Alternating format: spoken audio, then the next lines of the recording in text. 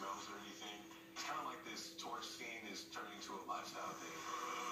Torching, harmless habit or extremely stupid, destroying addiction. Just because it's not a cigarette does not make it